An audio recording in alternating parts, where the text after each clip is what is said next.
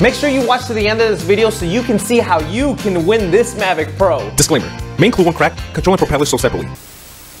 Today, I'm gonna show you how to turn your footage from looking like this to this. Let's get right into it. Is your fear that you will not be able to record amazing looking videos because you don't have the fancy camera or fancy lights? Because I'm gonna show you how to use your iPhone to produce great quality looking videos just like this one.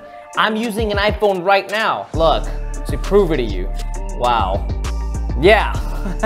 so if you were about to spend a lot of money on a camera, lenses, memory sticks, extra batteries, fancy lights, oh, did I just save you a ton of money. Ah! Let's take it from the start with the first of three things that you need to do. Number one, control lighting. When you have this crap looking image, the first thing that you want to do is control the light in your room, whether it is coming from windows or for example, the light in my room is crap. So what I want to do is turn that off close the blinds so then I can have an image looking like this. And now we're ready to move into step two, lighting.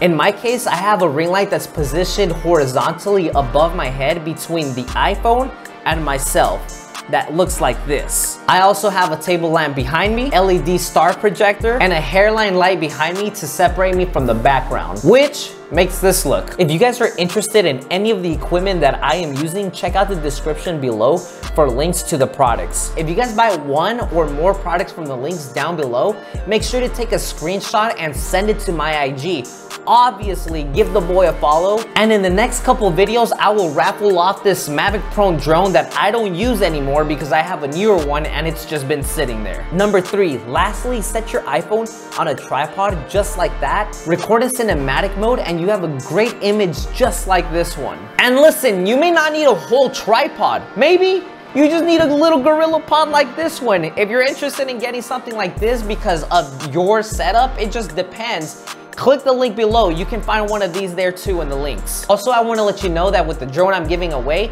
it comes with an extra battery, four ND filters, three here, one already on the camera, and a charger. Next, I'm gonna make a video on how to color correct your footage and you're gonna be able to find that video right here once I'm done with it and it's available to watch. But for now, Make sure you watch this video so you can become a faster editor and get through your projects at lightning speed and stop wasting time.